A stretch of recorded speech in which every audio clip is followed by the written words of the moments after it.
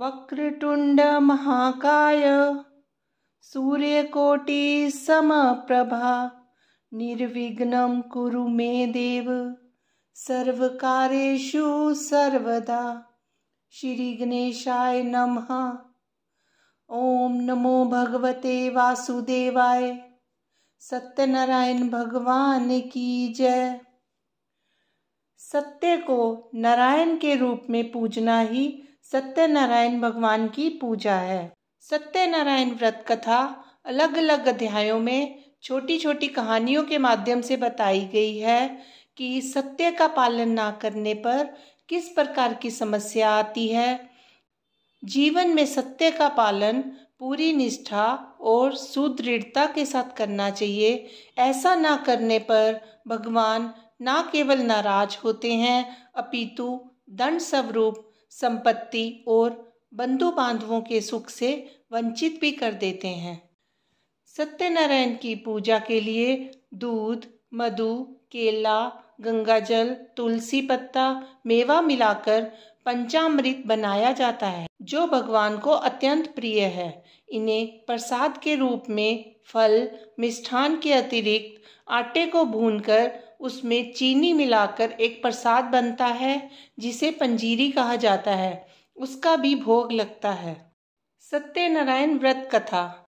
एक समय की बात है नैमिष्यारण्य तीर्थ में शोनिक आदि अट्ठासी हज़ार ऋषियों ने श्री सूत जी से पूछा, हे प्रभु, इस कलयुग में वेद विद्या रहित मनुष्यों को प्रभु भक्ति किस प्रकार मिल सकती है?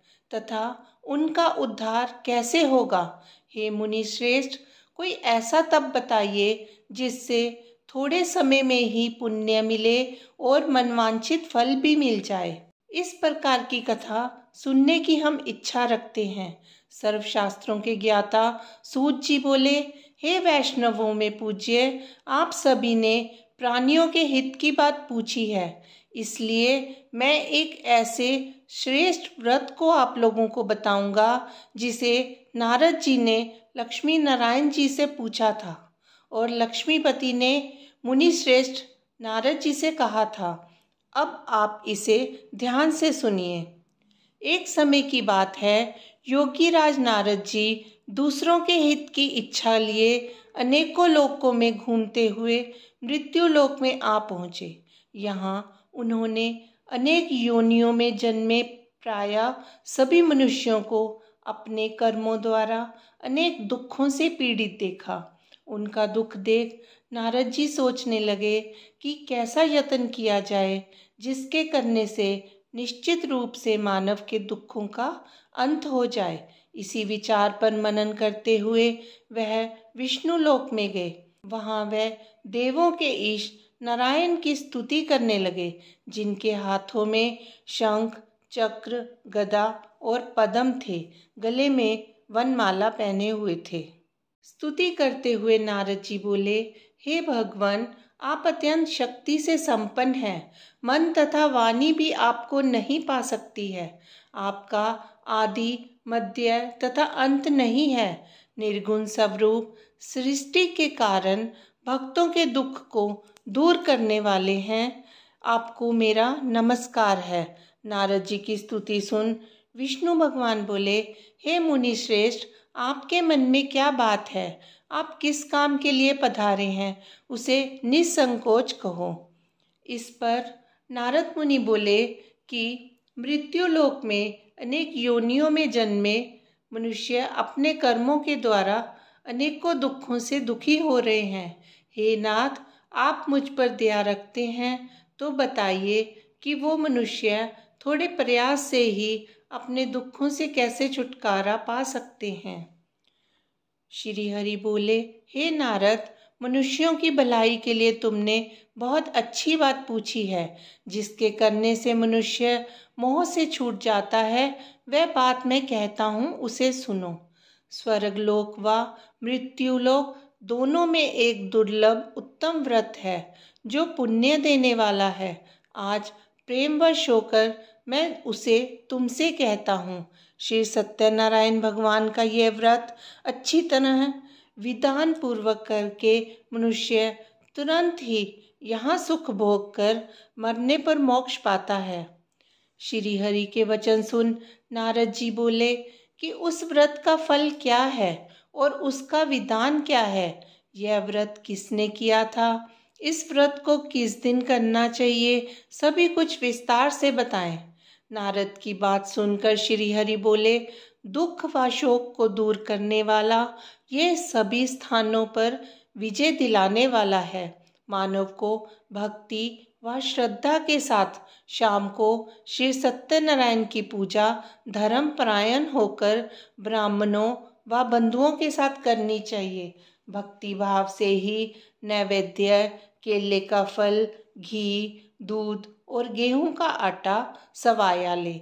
गेहूँ के स्थान पर साठी का आटा, शक्कर या गुड़ लेकर व सभी भक्षण योग्य पदार्थों को मिलाकर भगवान का भोग लगाएँ। ब्राह्मणों सहित बंधु बांधवों को भी भोजन कराएँ। उसके बाद स्वयं भोजन करें। भजन कीर्तन के साथ भगवान की भक्ति में लीन हो जाएँ। इस तरह से सत्यनारायण भगवान का यह व्रत करने से मनुष्य की सारी इच्छाएँ निश्चित रूप से पूरी होती हैं। इस कलिकाल अर्थात कलयुग में, मृत्युलोक में मोक्ष का यही एक सरल उपाय बताया गया है। श्री सत्यनारायण व्रत कथा का पहला अध्याय संपूर्ण। श्री सत्यनारायण भगवान की जय। सत्यनारायण भगवान की व्रत कथा का दूसरा अध्याय।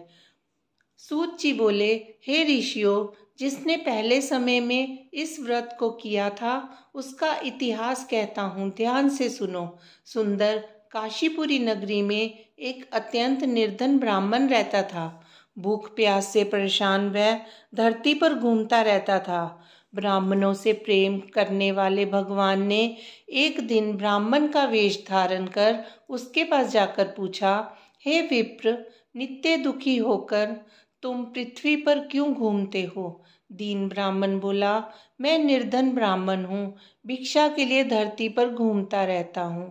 हे भगवान, यदि आप इसका कोई उपाय जानते हो तो बताइए। वृद्ध ब्राह्मण कहता है कि सत्यनारायण भगवान मनोवांछित फल देने वाले हैं, इसलिए तुम उनका पूजन करो।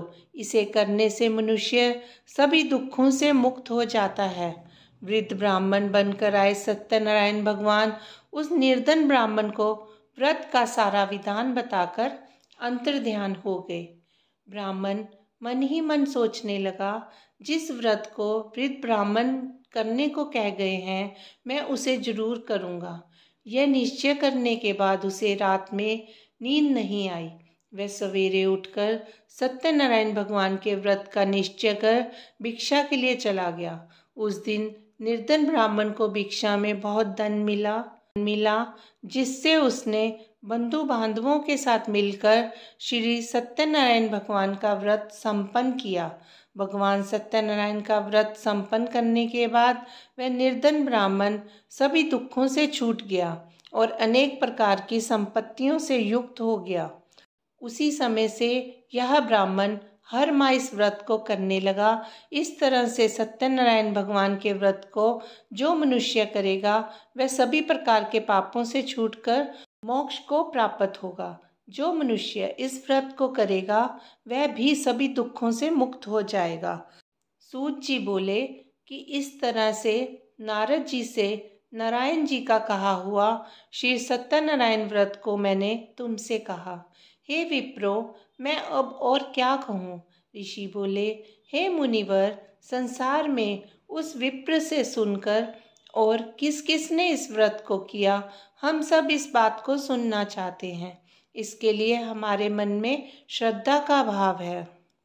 सूत जी बोले, हे मुनियों, जिस जिसने इस व्रत को किया है, वे सब सुनो। एक समय वही विप्र, धन व ऐश्वर्य के अनुसार अपने बंधु बांधवों के साथ इस व्रत को करने को तैयार हुआ। उसी समय एक लकड़ी बेचने वाला बूढ़ा आदमी आया और लकड़ियाँ बाहर रखकर अंदर ब्राह्मण के घर में गया। प्यास से दुखी व लक्कड़हारा उनको व्रत करते देख विप्र को नमस्कार कर पूछने लगा, आप यह क्या कर रहे हैं? तथा इसे करने से क्या फल मिलेगा? कृपया मुझे भी बताएँ। ब्राह्मण ने कहा कि सभी मनोकामनाओं को पूरा करने वाला यह सत्यनारायण भगवान का व्रत है। इनकी कृपा से ही मेरे घर में धन धान्य आदि की वृद्धि हुई है। विप्र से सत्यनारायण व्रत के बारे में जानकर लक्कड़हारा बहुत प्रसन्न हुआ। चरणामृत लेकर व प्रसाद खाने के बाद वह अपने घर गया। लक्कड़हारे ने अपने मन में संकल्प किया कि आज लकड़ी बेचने से जो धन मिलेगा, उसी से श्री सत्यनारायण भगवान का उत्तम व्रत करूँगा।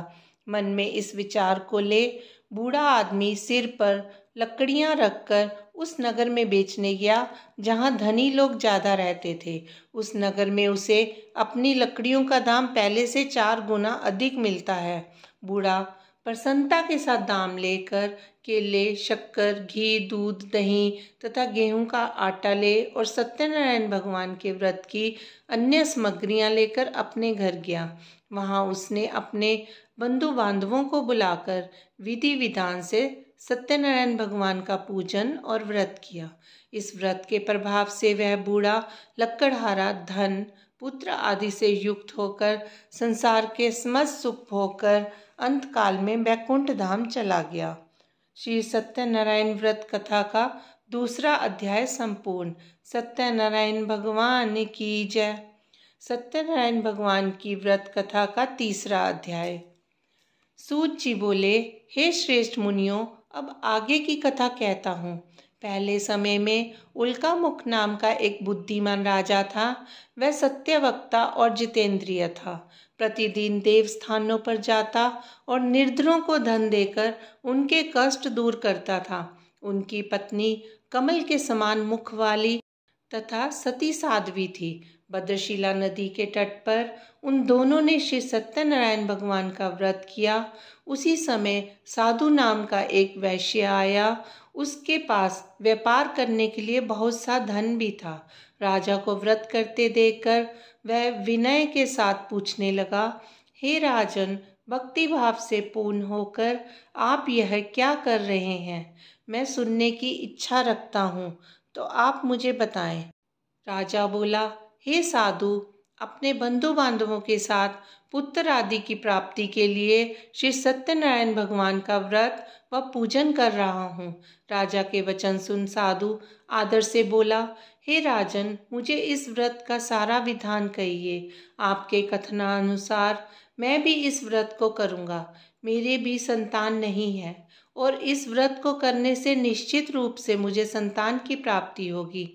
राजा से व्रत का सारा विधान सुन, व्यापार से निवृत्त हो, वह अपने घर गया।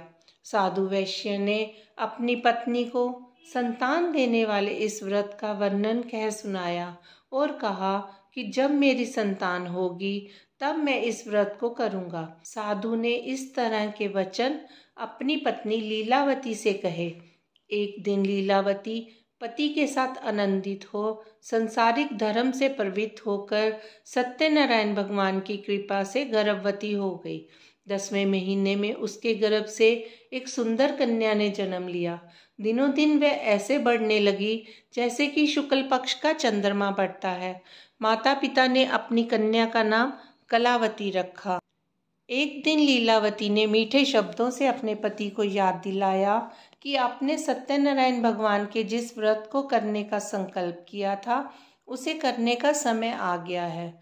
आप इस व्रत को करिए। साधु बोला कि, हे प्रिय, इस व्रत को मैं उसके विवाह पर करूँगा। इस प्रकार अपनी पत्नी को आश्वासन देकर वह नगर को चला गया। कलावती पिता के घर में रह वृद्धि को प्राप्त हो गई। साधु ने एक बार नगर में अपनी कन्या को सखियों के साथ देखा। तो तुरंत ही दूत को बुलाया और कहा कि मेरी कन्या के योग्य वर देख कर आओ।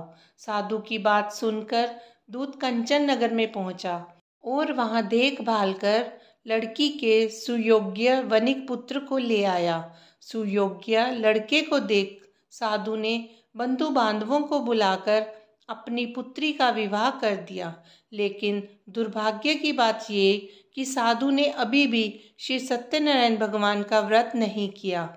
इस पर श्री भगवान क्रोधित हो गए और श्राप दिया कि साधु को अत्यधिक दुख मिले। अपने कार्य में कुशल साधु बनिया जमाई को लेकर समुद्र के पास स्थित रत्नासारपुर नगर में गया। वहाँ जाकर दमाद ससुर दोनों मिलकर चंद्रकेतु राजा के नगर में व्यापार करने लगे। एक दिन भगवान सत्यनारायण की माया से एक चोर राजा का धन चुराकर भाग रहा था। उसने राजा के सिपाहियों को अपना पीछा करते देख चुराया हुआ धन वहाँ रख दिया, जहाँ साधु अपने जमाई के साथ ठहरा हुआ था। राजा के सिपाहियों ने साधु वैश्य के पास राजा का धन पड़ा देखा तो ससुर जमाई दोनों को बांधकर प्रसन्नता से राजा के पास ले गए और कहा कि हम दोनों चोर पकड़ लाए हैं। आप आगे की कार्यवाही की आज्ञा दें। राजा की आज्ञा से उन दोनों को कठिन कारावास में डाल दिया गया और उनका सारा धन भी उनसे छीन लिया गया। श्री सत्यनारायण भगवान के श्राप से साधु की पत्नी भी बहुत दुखी हुई। घर में जो धन रखा था, उसे चोर चुरा ले गए। शारीरिक तथा मानसिक पीड़ा वह भूख प्यास से अति दुखी हो, अन्न की चिंता में कलावती एक ब्राह्मण के घर गई। वहाँ उसने श्री सत्यनारायण भगवान का व्रत होते देखा, फिर कथा भी सुनी। वह प्रसाद ग्रहण कर रात को घर वापिस आई। माता ने कलावती से पूछा, हे पुत्री, अब तक तुम कहाँ रही? तेरे मन में क्या है? कलावती ने अपनी माता से कहा, हे माता मैंने एक ब्राह्मण के घर में श्री सत्यनारायण भगवान का व्रत देखा है। कन्या के वचन सुनते ही लीलावती भगवान के पूजन की तैयारी करने लगी। लीलावती ने परिवार व बंधुओं सहित सत्यनारायण भगवान का पूजन किया और उनसे वर मांगा कि मेरे पति तथा जमाई शीघ्र घर आ जाए। साथ ही यह भी प्रार्थना की कि हम सबका अपराध क्षमा करें। श्री सत्यनारायण भगवान इस व्रत से संतुष्ट हो गए और राजा चंद्रकेतु को सपने में दर्शन दे कहा कि, हे राजन, तुम उन दोनों वैश्यों को छोड़ दो और तुमने उनका जो धन लिया है उसे वापस कर दो। अगर ऐसा नहीं किया तो मैं तुम्हारा धन, राज्य व संतान सभी नष्ट कर दूँगा राजा को यह कहकर वह अंतर ध्यान हो गए। प्रातःकाल सभा में राजा ने अपना सपना सुनाया। फिर बोले कि वनिक पुत्रों को कैद से मुक्त कर दो। दोनों ने आते ही राजा को प्रणाम किया। राजा मीठी वाणी से बोला, हे महानुभावो, भाग्यवश ऐसा कठिन दुख तुम्हें प्राप्त हुआ है, लेकिन अब कोई भय नहीं है। ऐसा कह राजा ने उन दोनों को नए वस्त्र आभूषण पहनाए, जितना धन लिया था उससे दुगुना धन वापस किया और दोनों वैश्य अपने घर को चल दिए। श्री सत्यनारायण व्रत कथा का तीसरा अध्याय संपूर्ण। सत्यनारायण भगवान की जय। सत्यनारायण भगवान की व्रत कथा का चौथा अध्याय। सूत जी बोले, वैश्य ने मंगलाचार कर अपनी यात्रा आरंभ की और अपने नगर की ओर चल दिया। थोड़ी दूर जाने पर एक डंडी वेशधारी सत्यनारायण ने उनसे पूछा, हे साधु, तेरी नाव में क्या है? अभिमानी वनिक हंसता हुआ बोला, हे दंडी आप क्यों पूछते हो? क्या धन लेने की इच्छा है? मेरी नाव में तो बेल व पत्ते भरे हुए हैं। वैश्य के कठोर वचन सुनकर भगवान बोले, तुम्हारा वचन सत्य हो। दंडी ऐसे वचन कह, वहाँ से दूर चले गए। कुछ दूर जाकर समुद्र के किनारे बैठ गए। दंडी के जाने के बाद साधु वैश्य ने नित्य क्रिया के पश्चात नाव को ऊँची उठी देख, अचंबा माना और नाव में बेल पत्ते देखकर वह मूर्छित होकर ज़मीन पर गिर गया। मूर्छा खुलने पर वह अत्यंत शोक करने लगा। तब उसका दामाद बोला कि आप शोक न करें, यह दंडी का श्राप है, इसलिए हमें उनकी शरण में जाना चाहिए। तभी हमारी मनोकामना पूरी होगी। दामाद की बात सुनकर वह दंडी के पास पहुँचा और अत्यंत भक्ति भाव से नमस्कार कर बोला, मैंने आपसे जो असत्य वचन कहे थे, उनके लिए मुझे क्षमा करें। ऐसा कहकर वह महान शोकातुर हो रोने लगा। तब दंडी भगवान बोले, हे वनिक पुत्र, मेरी आज्ञा से बार बार तुम्हें दुख प्राप्त हुआ है। तू मेरी पूजा से विमुख हुआ है। साधु बोला, हे भगवान आपकी माया से ब्रह्मा आदि देवता भी आपके रूप को नहीं जानते, तब मैं अज्ञानी कैसे जान सकता हूँ? आप प्रसन्न होइए, मैं समर्थ्य के अनुसार आपकी पूजा करूँगा। मेरी रक्षा करो और पहले के समान नौका में धन भर दो। साधु वैश्य के भक्तिपूर्वक वचन सुनकर भगवान प्रसन्न हो गए और उसकी इच्छा अनुसार वरदान देकर अंतर ध्यान हो गए। ससुर जमाई जब नाव पर आए तो नाव धन से भरी हुई थी। फिर वही अपने अन्य साथियों के साथ सत्यनारायण भगवान का पूजन कर अपने नगर को चल दिए। जब नगर के नज़दीक पहुँचे तो दूध को घर पर खबर करने के लिए भेज दिया। दूध साधु की पत्नी को प्रणाम कर कहने लगा कि साधु अपने दामाद से नगर के निकट आ गए हैं। दूत की बात सुनकर साधु की पत्नी लीलावती ने बड़े हर्ष के साथ सत्यनारायण भगवान का पूजन कर अपनी पुत्री कलावती से कहा कि मैं अपने पति के दर्शन को जाती हूँ। तू कार्य पूर्ण कर, शीघ्र आ जाना। माता के ऐसे वचन सुन कलावती जल्दी में प्रसाद छोड़कर अपने पति के पास चली। प्रसाद की अवज्ञा के कारण श्री सत्यनारायण भगवान रुष्ट हो गए और नाव सहित उसके पति को पानी में डुबो दिया। कलावती अपने पति को वहाँ ना पाकर रोती हुई ज़मीन पर गिर गई। नौका को डूबा हुआ देख व कन्या को रोता देखकर साधु दुखी होकर बोला, हे प्रभु, मुझसे या मेरे परिवार से जो भूल हुई है, उसे क्षमा करें। साधु के दीन वचन सुनकर श्री सत्यनारायण भगवान प्रसन्न हो गए और आकाशवाणी हुई। हे साधु, तेरी कन्या मेरे प्रसाद को छोड़कर आई है, इसलिए उसका पति अदृश्य हो गया है।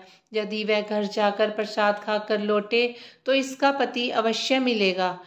ऐसी आकाशवाणी सुनकर कलावती ने घर पहुंचकर प्रसाद खाया, फिर आकर अपने पति के दर्शन किए। उसके बाद साधु अपने बंधु बांधवों सहित श्री सत्यनारायण भगवान का विधि विधान से पूजन करने लगा। इस श्लोक का सुख भोग कर अंत में स्वर्ग को चला गया। श्री सत्यनारायण व्रत कथा का चौथा अध्याय संपूर्ण। सत्यनारायण भगवान की जय। श्री सत्यनारायण भगवान की व्रत कथा का पांचवा अध्याय। सूत जी बोले, हे ऋषियों, मैं और भी एक कथा सुनाता हूँ। उसे भी ध्यान पूर्वक सुनो। प्रजापालन में लीन तुंगध्वज नाम का एक राजा था। उसने भी भगवान का प्रसाद त्याग कर बहुत ही दुख पाया। एक बार वन में जाकर वन्य पशुओं को मारकर वह बड़ के पेड़ के नीचे आया। वहाँ उसने ग्वालों को भक्ति भाव से अपने बंधुओं सहित सत्यनारायण भगवान का पूजन करते देखा। अभिमानवश राजा ने उन्हें देखकर ना वहाँ गया, ना भगवान को नमस्कार किया। ग्वालों ने राजा को जब प्रसाद दिया, उसने वह प्रसाद नहीं खाया और वहीं छोड़कर अपने नगर को चला गया। जब वह नगर में पहुँचा तो वहाँ सब कुछ तहस नहस पाया। तो वह शीघ्र समझ गया कि यह सब भगवान ने ही किया है। वह दोबारा ग्वालों के पास पहुँचा और विधि पूर्वक पूजा कर प्रसाद खाया तो श्री सत्यनारायण भगवान की कृपा से सब कुछ पहले जैसा हो गया। दीर्घ काल तक सुख भोगने के बाद मरणोपरांत उसे स्वर्ग की प्राप्ति हुई। जो मनुष्य इस परम दुर्लभ व्रत को करेगा, भगवान सत्यनारायण की अनुकंपा से उसे धन धान्य की प्राप्ति होगी। निर्धन धनी होता है संतानहीन मनुष्य को संतान सुख मिलता है और सारे मनोरथ पूर्ण होने पर मानव अंत में वैकुंठ धाम को जाता है। सूत जी बोले, जिन्होंने पहले इस व्रत को किया है, अब उनके दूसरे जन्म की कथा कहता हूँ। वृद्ध शतानंद ब्राह्मण ने सुदामा का जन्म लेकर मोक्ष प्राप्त किया। लक्कड़हारे ने अगले जन्म में निषाद बनकर मोक्ष प्राप्त किया। उल्का मुख नाम का राजा दशरथ होकर बैकुंठ गया। साधु नाम के वैश्य ने मोरध्वज बनकर अपने पुत्र को आरे से चीरकर मोक्ष पाया। महाराज तुंगध्वज ने स्वयंभू होकर भगवान के भक्ति युक्त कर्म कर मोक्ष पाया। श्री सत्यनारायण व्रत कथा का पांचवा अध्याय संपूर्ण। श्री सत्यनारायण भगवान की जय। श्री सत्यनारायण भगवान की आरती। जय लक्ष्मी रमना, स्वामी जय लक्ष्मी रमना। सत्यनारायण स्वामी, जन पातक हरना। जय लक्ष्मी रमना, रतन जड़ित सिंहासन, अद्भुत छवि राजे। नारद करत निराजन, घंटा ध्वनि बाजे। जय लक्ष्मी रमना, प्रगट भये कलिकारन द्विज को दरस दियो। बूढ़े ब्राह्मण भन कर कंचन महल कियो। जय लक्ष्मी रमना दुर्बल भील की रात, जिन पर कृपा करी। चंद्रचूड़ एक राजा तिन की विपत्ति हरी। जय लक्ष्मी रमना, वैश्य मनोरथ पायो। श्रद्धा तज दीनी, सो फल भोग्यो प्रभु जी फिर स्तुति कीनी। जय लक्ष्मी रमना। भाव भक्ति के कारण छिन छिन रूप धर्यो। श्रद्धा धारण कीनी तिनको काज सरयो। जय लक्ष्मी रमना। ग्वाल बाल संग राजा वन में भक्ति करी, मन वांछित फल दीनो, दीन दयालु हरि। जय लक्ष्मी रमना, चढ़त प्रसाद सवायो, कदली फल मेवा। धूप दीप तुलसी से राज़ी सत्य देवा जय लक्ष्मी रमना, सत्यनारायण जी की आरती, जो कोई नर गावे। कहत शिवानंद स्वामी, मन वांछित फल पावे। जय लक्ष्मी रमना, सत्यनारायण भगवान की जय। ओम नमो भगवते वासुदेवाय।